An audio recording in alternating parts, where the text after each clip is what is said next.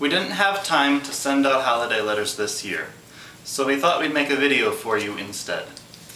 It's been a very busy year for us. To begin with, Jordan proposed to me and I said yes. Then we took a train to spend New Year with friends in Colorado, which meant I had to learn to ski. In January, Roxy was cast in a production of The Prisoner of Zenda. In February, our friends threw us an engagement party, and in March, we celebrated our five-year anniversary. In April, Roxy left her job at ACT to become a full-time student. Later that month, her father passed away. In May, we had our engagement photos taken, and in June, I started a new job at Hardin Library. The next month, Jordan got a new job at Kramer Development in Iowa City. We also spent a week in Michigan for the Peterson family reunion.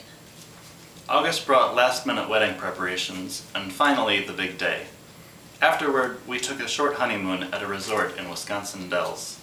In September, we both performed in a production of Camelot in Iowa City. And in October, we took another trip to Colorado. In November, we had three Thanksgivings one with my family in Wisconsin, one with friends, and one with Jordan's family in Illinois. Now it's December again, and we've already celebrated with Roxy's family, and are getting ready for Christmas in Decorah with my family. Then we'll head back to Iowa City to ring in the new year with friends.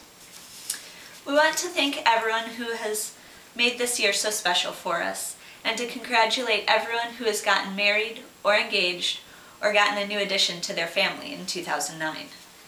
To all of our family and friends, new and old, we miss you and hope to see a lot of you in 2010.